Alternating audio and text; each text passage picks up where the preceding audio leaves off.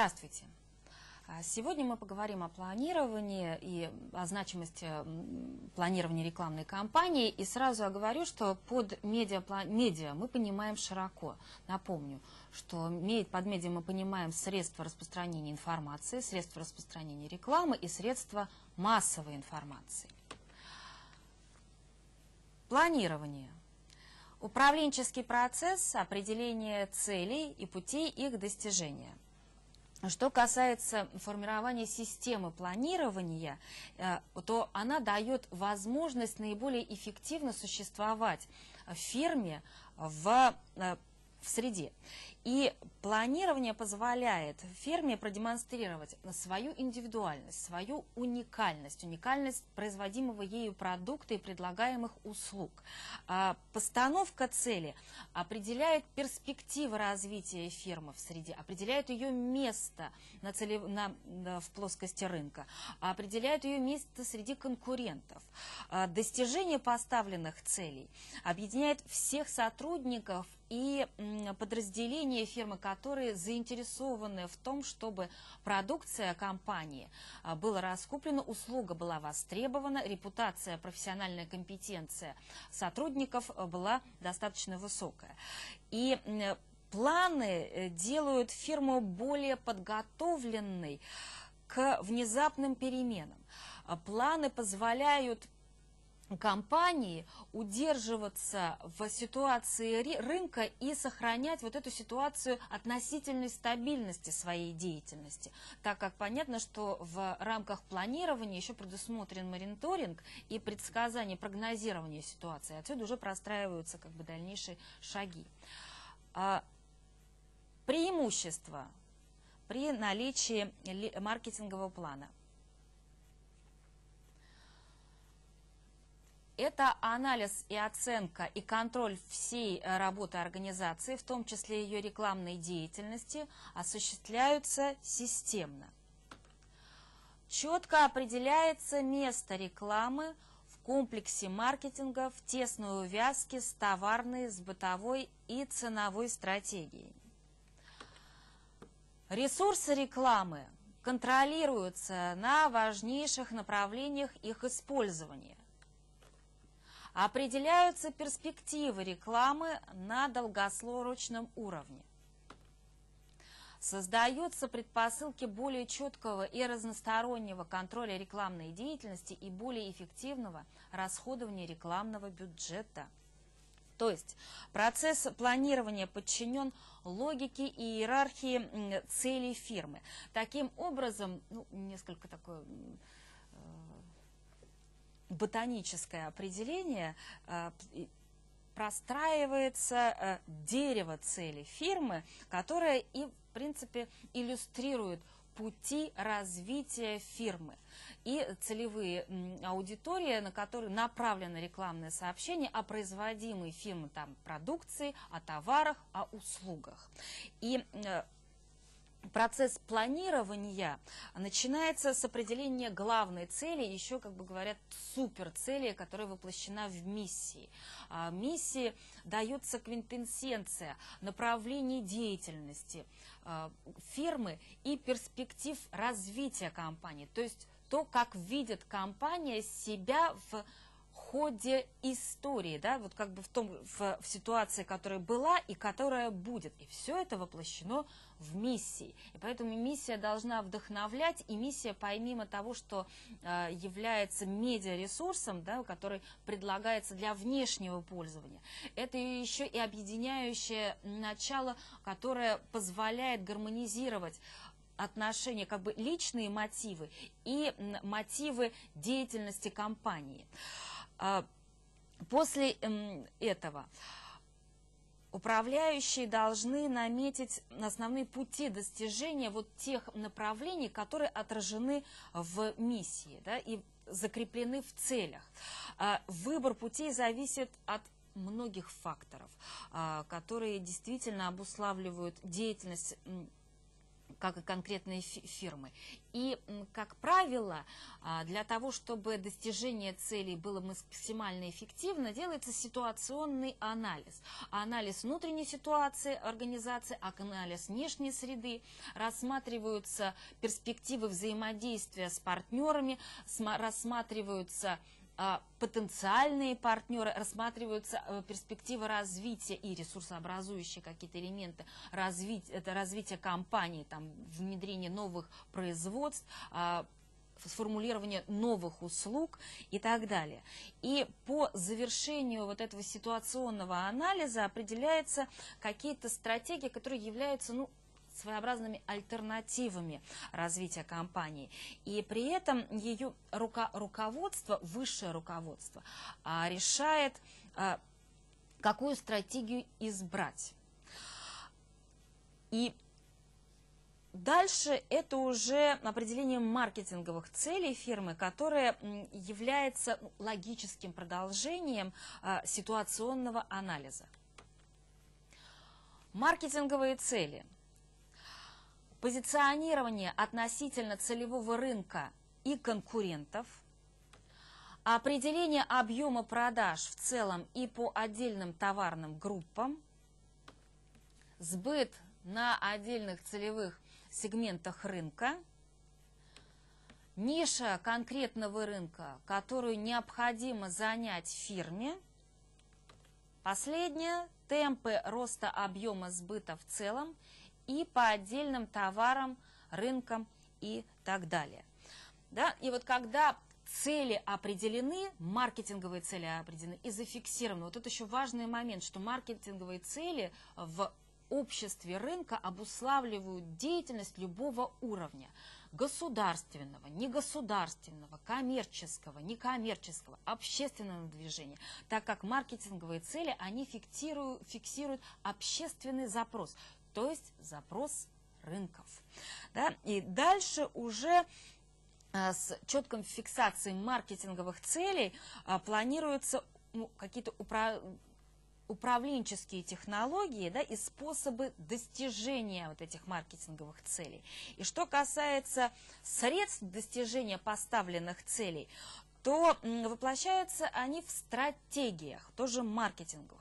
И маркетинговая стратегия, по сути дела, представляет а, собой достаточно широкомасштабную про программу а, действий компании, которая включает в себя определение целевых рынков, то есть сегментацию, а, комплекс маркетинга, да, как такой полноценной деятельности в различных направлениях.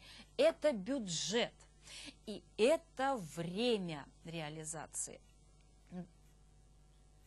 И еще, а, что касается а,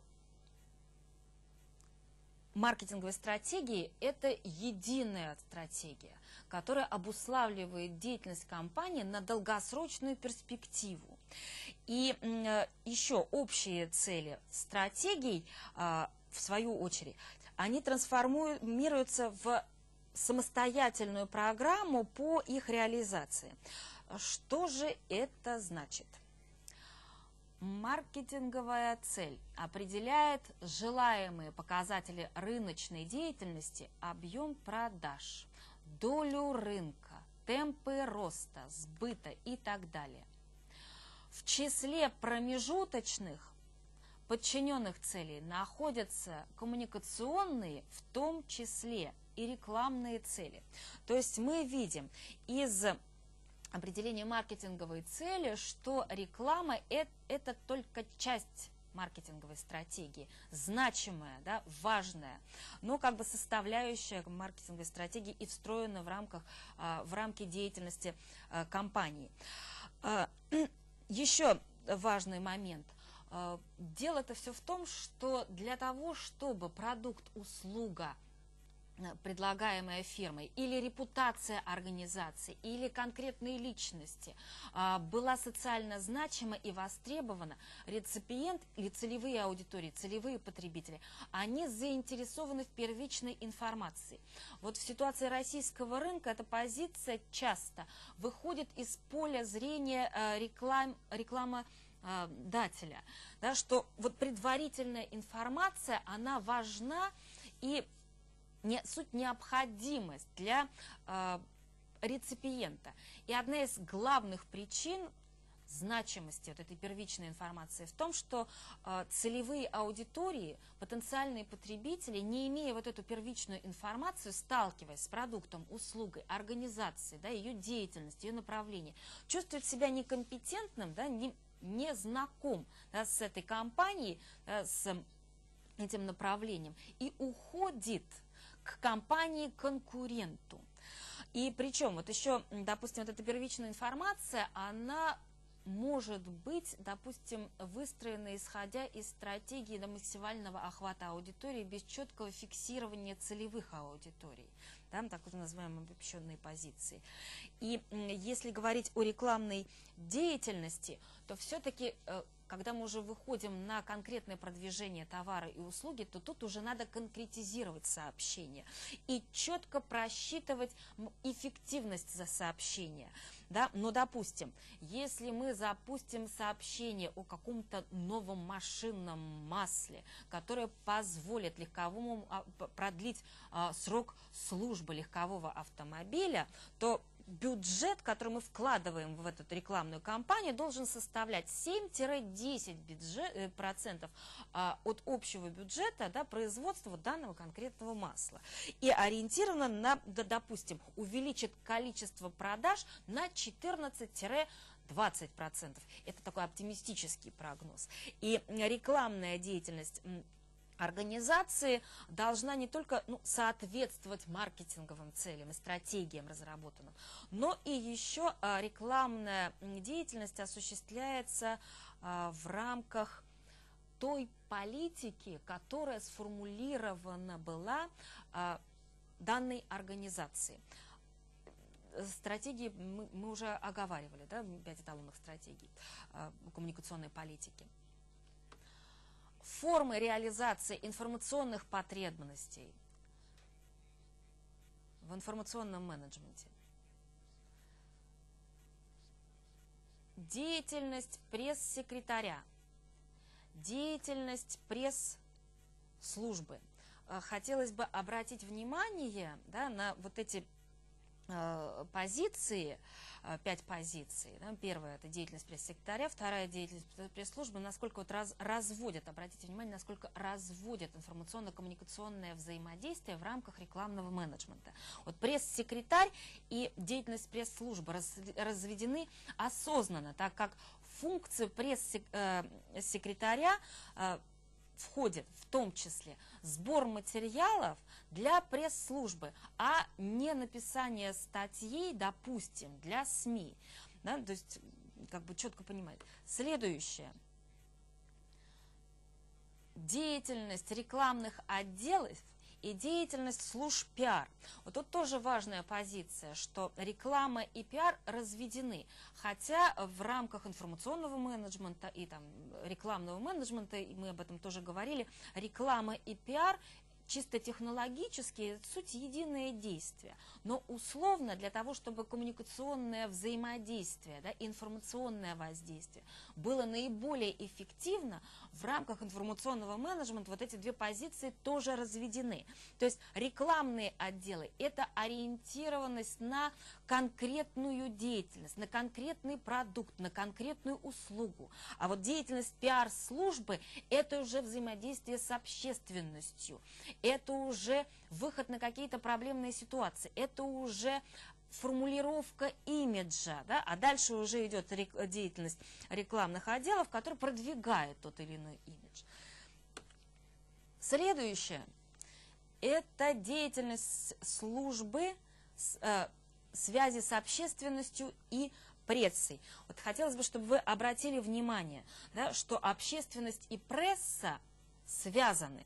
И причина этой связи в том, что мы тоже уже эту позицию оговаривали, что а, информационный менеджмент сегодня понимается как коммуникационный менеджмент, что, а, допустим, рекламная деятельность ориентирована не, столько, не только на информационное воздействие, но и коммуникационное взаимодействие. Отсюда трансформация общества информации в общество коммуникации, да, э, информационного менеджмента коммуникационный менеджмент, рекламы и пиар, да, как суть единой деятельности, да, и связь с общественностью и прессой, так как пресса выражает общественное мнение и формулирует общественное мнение. И главными задачами медиапланирования, ну, условно говоря, опять повторяю, мы понимаем медиапланирование широко. Это э, распространение информации, средства массовой информации, средства распространения рекламы. Есть прямая, есть обратная задача. Что касается прямой задачи, мы определяем наиболее оптимальные схемы размещения рекламной рекламных материалов, да, э, при э, которой достигаются необходимые показатели эффективности данной деятельности в области рекламы. А что касается обратной задачи, то мы определяем такую схему размещения а, рекламных материалов, при которой ну, в рамках имеющегося бюджета достигаются максимальные возможные показатели охвата целевой аудитории. И если говорить о медиапланировании, то мы его таким образом можем понимать а, в широком и в узком смысле. Вот если говорить о широком смысле слова, то медиаплан представляет собой такой ну, комплексный документ, а, в котором определены и обоснованы стратегические и тактические стороны проведения рекламной кампании.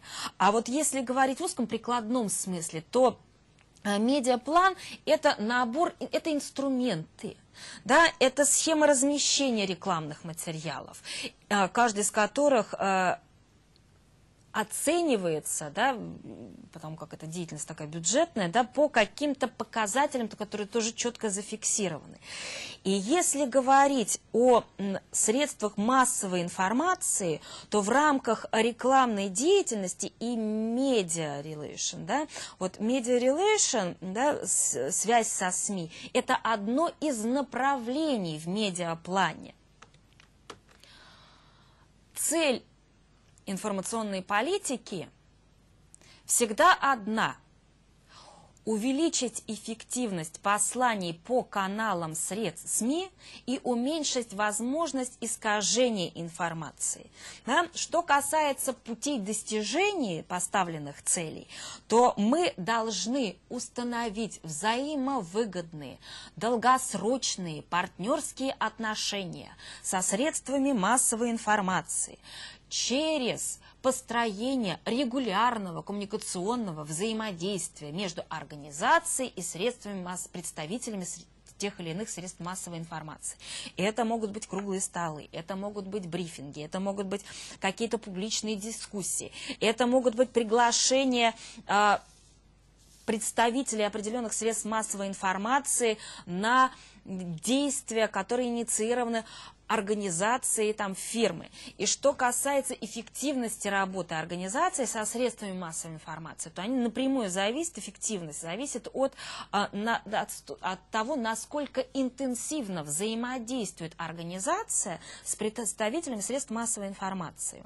Да, насколько четко сформулировано сообщение организации для средства массовой информации, привлекательно, который делает деятельность этой организации привлекательным для средства массовой информации. Да, то есть позиционирование деятельности организации а, как информационного повода. И тут тоже надо понимать, что средства массовой информации это такая же индустрия, как и любая другая, и информационный голод никто не отменял, и средства массовой информации заинтересованы в информационных поводах. Да, они их ищут. И организация может на основе вот этой позиции простроить взаимовыгодное сотрудничество с определенными средствами массовой информации. Есть технология, четко отработанные технологии взаимодействия со средствами массовой информации. Мы формируем специализированные базы данных посредством массовой информации, включаем там, скажем, инфо сводную информацию о средстве массовой информации, которая постоянно обновляется. Называется это медиакартой. А мы разрабатываем и используем стандартные формы а, информационных материалов, предназначенных для средств массовой информации, средств массовой э, коммуникации. Да, мы так их готовим, что они становятся привлекательными для средств массовой информации. И тут важны, там, допустим, начиная э, от содержательного аспекта, заканчивая э, шрифтом и соблюдением вот так называемых дедлайнов, да, то есть последних дат, которые там существуют в каждой редакции, да, при выходе, допустим, ежедневной газеты, при э, работе с интернет-ресурсами, да, вопрос обновления. И рекомендуется сформировать какие-то специализированные базы данных по э, центральным, региональным и местным средствам массовой информации. Если говорить о России, то начало 21 века обусловлено тем, что идет всплеск развития печатных региональных средств массовой информации и сокращение значимости федеральных средств массовой информации. Еще создают базы данных профильных зарубежных средств массовой информации. Это тоже важно понять, что, конечно, медиа релейшн, отношения со средствами массовой информации, это часть деятельности а, в области рекламы да, и продвижения организации. Но она значима, так как современное общество – это условия современного общества таковы, что если деятельности организации не попадает, информация о деятельности организации не попадает в средства массовой информации, средства массовой коммуникации, то эта организация становится невидимой для потенциальных потребителей продуктов, услуги, для потенциальных партнеров, для реальных партнеров. Да, вот такова ситуация. Примерная схема медиакарты – Структура редакции. Вот под структурой редакции мы понимаем там фамилия, имя, отчество, адрес, э, телефон, факс, мейл э, главного редактора. Э, еще хорошо идти через ответственного редактора, а не через главного редактора. Важен выпускающий редактор. Э, редакторы какого-то профильного издания, журналисты, операторы, э, фотографы. Второе – Название, учредители, форма собственности, источник финансирования. Очень важная позиция. А, так как, допустим, сегодня ну, как бы вообще в обществе информации, в обществе коммуникации а, часто э, при продвижении компании товара, услуги, э, персонажа, гораздо более эффективно идти не главному редактору, а идти к учредителю, да, который, допустим, если брать средства массовой информации печатное, ну, можно посмотреть последнюю страничку, а кто платит деньги, да, и идти через как раз-таки источник финансирования. Следующее. Структура и тематическая направленность, политическая ориентация, отношение к власти. А, здесь еще тоже важный момент. Рубрики, а, отделы, полосы, программы и тому подобные позиции, которые обуславливают, ну, допустим, если говорить о телевидении, вещательную сетку. Следующее. Периодичность, способ распространения, график выхода изданий и программ, э, сетка вещания для ТВ и радио. А, вот еще важный момент по поводу графика. Когда организация налаживает долгосрочные связи с конкретным средством массовой информации, то график становится часто обуславливающим фактором, да, так как средства массовой информации заинтересованы в информационных поводах, если недостаточно было материала, да, то обращаются к организации, которые рассматривают как постоянного партнера, поставщика информации. Да, и тут тоже важный момент, что организация, которая рассчитывает на взаимодействие с конкретным средством массовой информации, она должна быть готова к этому взаимодействию да, и постоянно, пред, учитывая график да, выпуска того того или иного средства массовой информации, учитывая способы распространения, обладать информационными ресурсами, которые предоставляют средству массовой информации по его первому требованию и отвечают критериям, которые, по которым существует данное средство массовой информации. И последнее. Тираж, состав аудитории, рейтинги популярности. То есть тут вопрос экономи, экономии усилий. Допустим, если говорить о крупной организации, то, конечно, она сотрудничает с крупными средствами массовой информации. Но порой выпускает продукт, который ну, рассчитан на очень узкий сегмент целевого рынка. И использовать а, средства массовой информации, которые охватывают весь рынок, да, без учета вот этой сегментации, может быть, допустим, нерентабельно. Да, тут вопрос экономии усилий. Еще, допустим, тоже воп спорный вопрос – это рейтинги. Да, что рейтинги простраивают, ну, допустим, если брать э, то же самое телевидение, то ставят счетчик и по количеству там, нажатия на э, определенную кнопку, которая выводит на определенный канал и определяет рейтинг. То есть это тоже такая ситуация спорная, но э, дело-то все в том, что все равно э, вот эти рейтинги, они значимы. И даже вот если выходит элемент случайности, да, который как бы присутствует в рейтинге, он тоже значим. А, еще тоже важный момент, что база данных, общество мобильно, да, ситуация мобильна, база данных постоянно обновляется.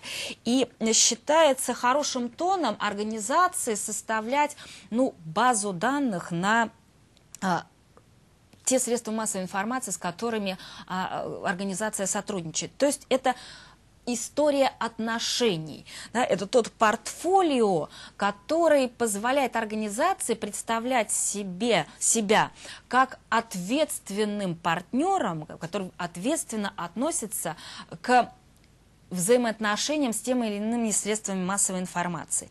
И допустим, э, считается хорошим тоном простраивать личные отношения с пишущие братья. Но опять-таки это не то, что там дружба э, вечная, а это удовлетворение общих интересов, профессиональных интересов. Да? И, и часто, допустим, организации, ответственно относящиеся к media relation, составляют базы данных на вот эти пишу, на пишущую братью. А, основные этапы медиа. Организационное обеспечение – формирование собственного информационного потока, разработка и совершенствование формы и стиля подачи материалов, инициирование публикаций, создание информационных поводов, сегментирование информационного потока, работа с целевыми аудиториями, информационное сотрудничество, эксклюзивная поставка информации – использование нетрадиционных форм а, работы. Но вот последняя позиция, нетрадиционные формы работы, там целевые утечки информации, простраивание коммуникационных барьеров, вот как раз-таки и э, позволяет реализовать организации вот этот медиа, да, план, план, не с точки зрения жесткого взаимодействия со СМИ, а с точки зрения и позиционирования себя как информационно-коммуникационного канала. А, благо, что сегодня ресурсами обладают организации, особенно если, допустим, говорить о виртуальных ресурсах, и организации обладают потенциалом позиционирования и вообще действия себя, представления себя как средство массовой информации. И что касается работы с информацией, со средствами массовой информации, то в основном средства массовой информации ориентируются на новости уникальные а, на какие-то сенсации, на подробности из жизни звезд, на такую утилитарную информацию, то есть куда пойти, где купить, как провести время, а, политические или, допустим, социально окрашенные акции. Вот, допустим, по исследованию Левада-центра 2008 года вообще средства массовой информации заточены на политику. Здесь еще важна природа рынка средств массовой информации, сдвоенного рынка. То есть, с одной стороны, СМИ а, являются поставщиками информации, в качестве продукта предлагают информацию. С другой стороны, средства массовой информации являются инструментом для формирования продукта под названием целевой аудитории, который доносится до определенных предприятий и организаций. Что касается технологий интерпретации информации, то они тоже четко разработаны. Мы вырабатываем подходящие э, фрагменты, э, выбираем определенные фрагменты информации. Что-то мы выходим, выводим на передний план. Какие-то позиции этично с точки зрения хартии реклам, рекламы и пиар замалчивать, если это целесообразно для компании и не несет вреда для потенциальных потребителей. Дальше привлечение лидеров мнений. Да, вот, допустим, тоже важный момент, почему информация, информационное воздействие э, э, трансформируется в коммуникационное взаимодействие. Потому что мы информацию направляем не на целевые аудитории, а на лидеров мнений, которые дальше эту информацию доносят до целевых аудиторий. А, используется технология монтажа информационных материалов, ну, в том числе э, предоставляя, подчеркивая или там опять-таки наоборот умалчивая о тех или иных фактах. А еще один важный момент при работе уже конкретно со средствами массовой информации – это ориентация на ньюсмейкинг, то есть создание новостей и конструирование новостных поводов. Вот, допустим, почему организациям небольшим выгоднее объединяться при взаимодействии с определенными средствами массовой информации. Потому что а, ньюсмейкинг предполагает сочетание а, новости с обще... с, с, со значимой проблемой. Небольшая организация, ну, скажем, там, я не знаю, ресторанчик небольшой, а, где-то находящиеся в Москве не в центре, а на периферии, или там э, театр областной, или э, там колледж какой-то, да, ну, сложно да, себя представлять с точки зрения социальной значимости, да, просто масштаб не соответствует.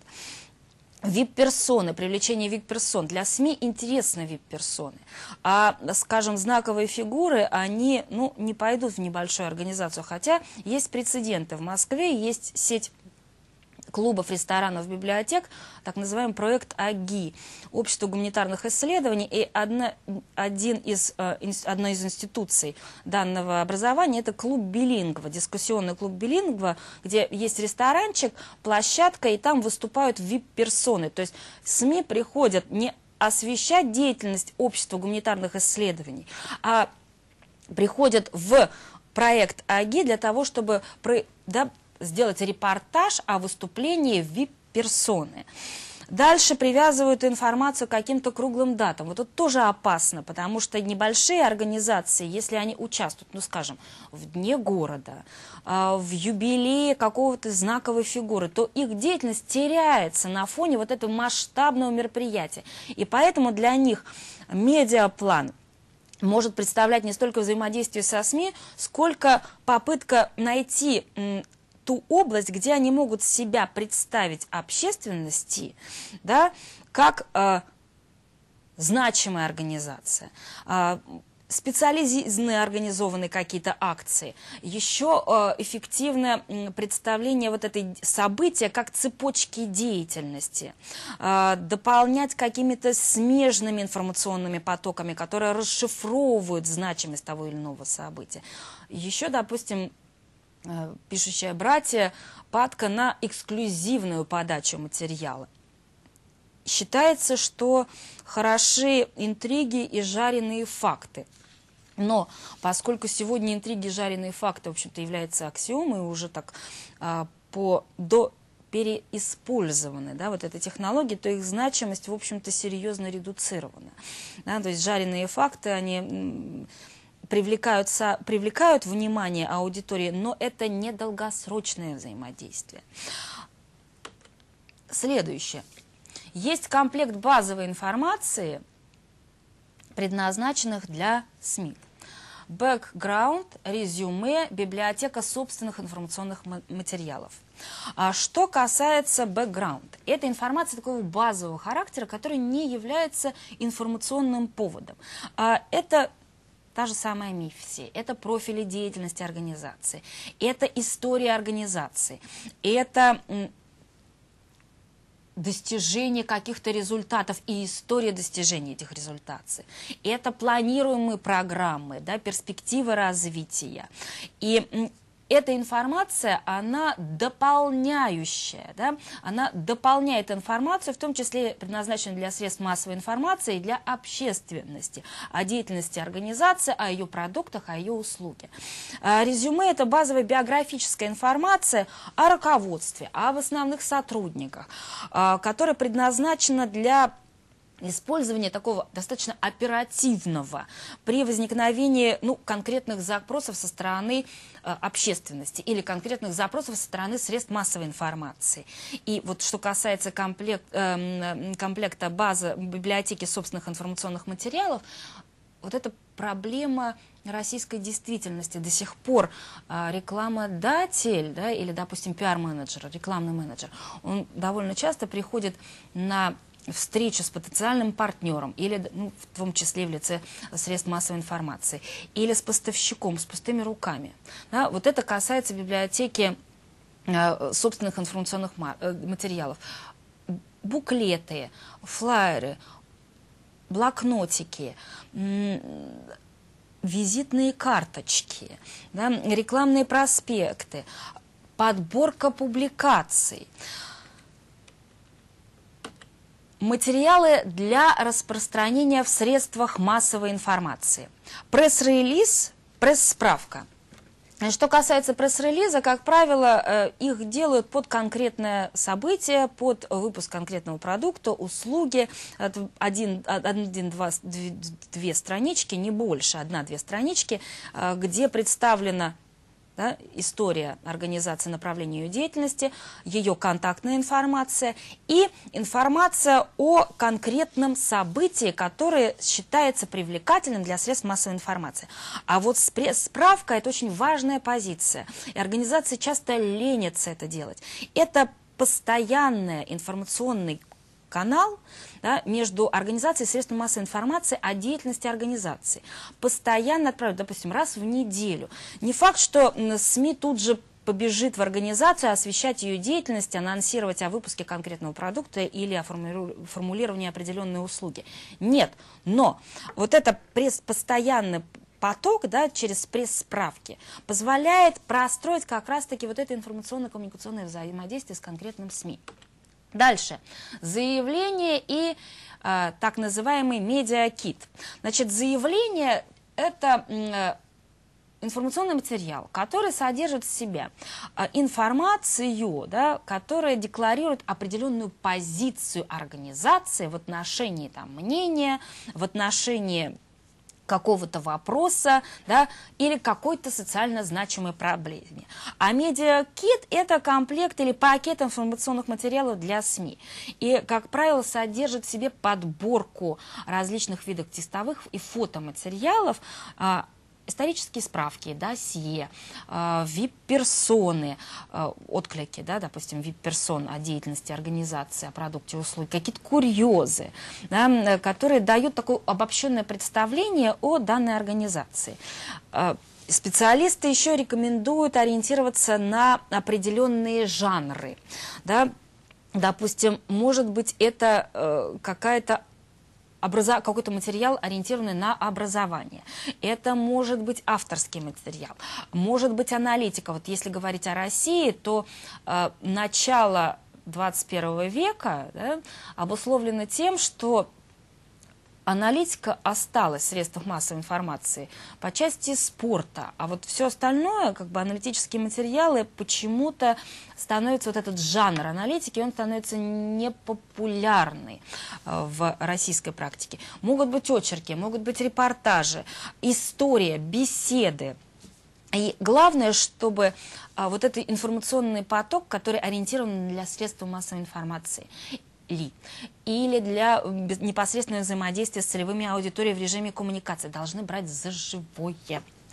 А, и таким образом у нас работа а, с информацией это текущая деятельность, да, это как бы как раз-таки в рамках текущей внешней деятельности. Да? И если говорить о СМИ, то сотрудничество со СМИ рассчитано на дол это долгосрочные стратегии. Да? Поэтому главное здесь согласовать позиции и интересы организации и средства массовой информации. И исходя из вот этих моментов в каждом конкретном случае важно точно определить адресата информации и соответствующий информационный канал, там, местные ли это СМИ, региональные ли это СМИ, а, центральные ли это СМИ, или это межличностная коммуникация, а, или же это, э, там, допустим, экранная культура, или мы выходим на уровень печати. Да? И еще, допустим, местные региональные СМИ испытывают дефицит текущей информации, и, как правило, а, вот с ними сотрудничество или с местными региональными считается наиболее плодотворным. Следующее. Это специфика различных СМИ, телевидение, в первую очередь новости и досуг, а, желание провести свободное время и экрана, специфика российской действительности в том, что идет серьезный разрыв между молодой аудиторией, молодежью и людьми, которые социализовались и инкультурировались в период СССР. Вот эти люди ориентированы на телевидение, а молодежь – это интернет. И вот это надо учитывать при продвижении продукта, услуги или, допустим, деятельности организации. Следующее – радио. Это оперативная утилитарная информация, что купить, куда пойти, и развлекательный шум. Допустим, часто радио рассматривают, ну, как э, в машине послушать, или там, я не знаю, убрать квартиру, да, помыть полы, и вот что-то там шумит.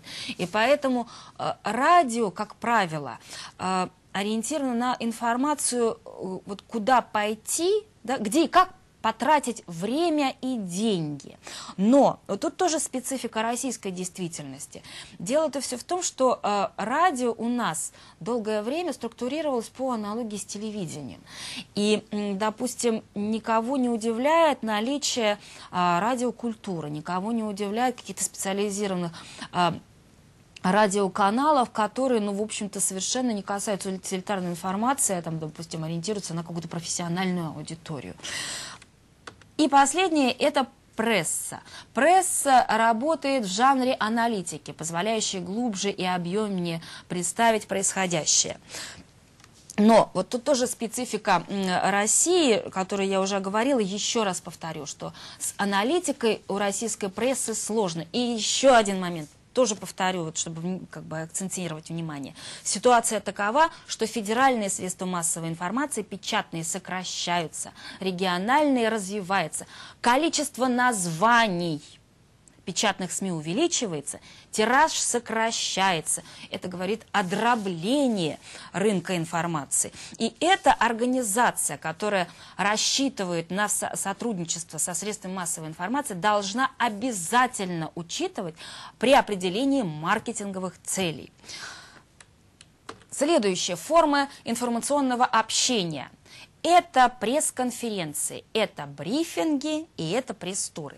Что касается пресс-конференции, а, то пресс-конференция – это встреча руководства а, со средствами массовой информации, и, как правило, пресс-конференции проводятся с определенной периодичностью, но не чаще, чем там раз в полгода, раз в год. Это отчет а, организации о деятельности, о своей деятельности, о направлениях своей деятельности перед средствами массовой информации. Рассылается, готов, готовится и рассылается а, пиар-менеджером или рекламным менеджером пресс-релиз да, о дате проведения, месте проведения, да, э, простраивается, значит, пресс-конференция. Каждый э, представитель средств массовой информации должен быть аккредитован, э, имеет право задать там один, два, три вопроса, то есть это все четко регламентируется. Выступление представителя организации 10-20 минут.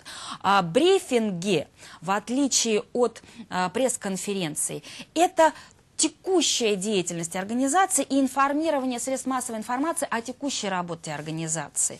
И вот, кстати, в отличие от пресс-конференции, где вот идет граница, да, СМИ и представители организации, то брифинги – это круглые столы.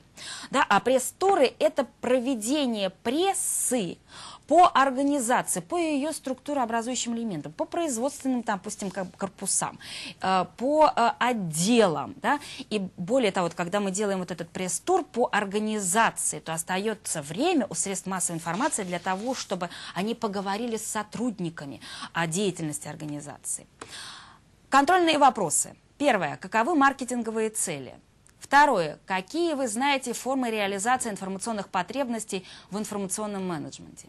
Третье. Какова примерная схема медиакарты? Четвертое. Какие вы знаете основные этапы метода? Пятое. Каковы формы информационного общения со СМИ? Таким образом, мы с вами обсудили плани вопросы планирования во времени, определили понятие там, тактики рекламной кампании, принципы работы а, со средствами массовой информации и представление себя как с точки зрения взаимодействия с информационными каналами и коммуникационными каналами. Спасибо, до свидания.